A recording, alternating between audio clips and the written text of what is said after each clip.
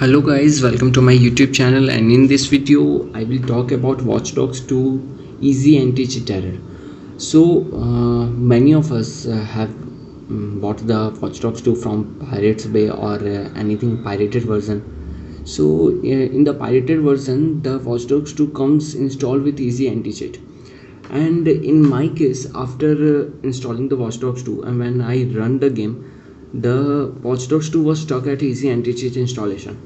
At easy anti-cheat installation everything goes fine. When i installed the easy anti-cheat the easy anti-cheat installed and after pressing on the finish button there was bsod error that is blue screen of death uh, blue screen error the windows 10 error. Very familiar problem with everyone. And so at a bsod error there was given that uh, the program file easyanti-cheat.sys was giving the problem. So i tried installing easy anti-cheat from the folder where the watchdogs 2 was installed.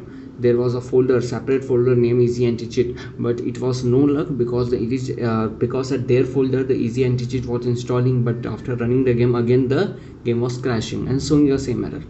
What i did was just I bypassed the easy anti-cheat. If you want to play it offline you can easily bypass the easy anti-cheat.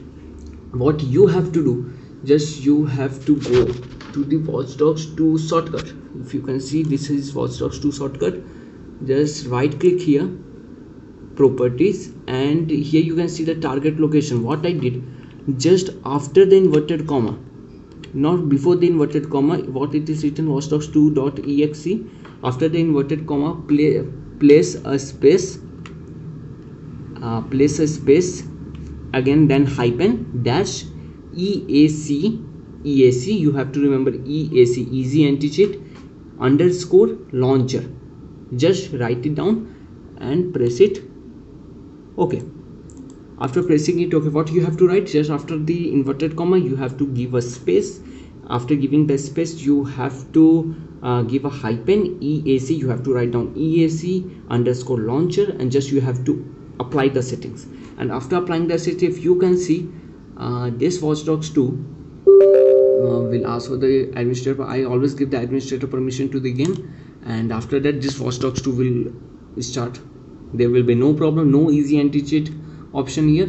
So if you like the video please give us a thumbs up. And uh, for any queries suggestions and demands please do the comment down below. And uh, if you like the content please also give a subscribe and press the bell icon to never miss any of my updates. Okay? Till then bye bye and stay blessed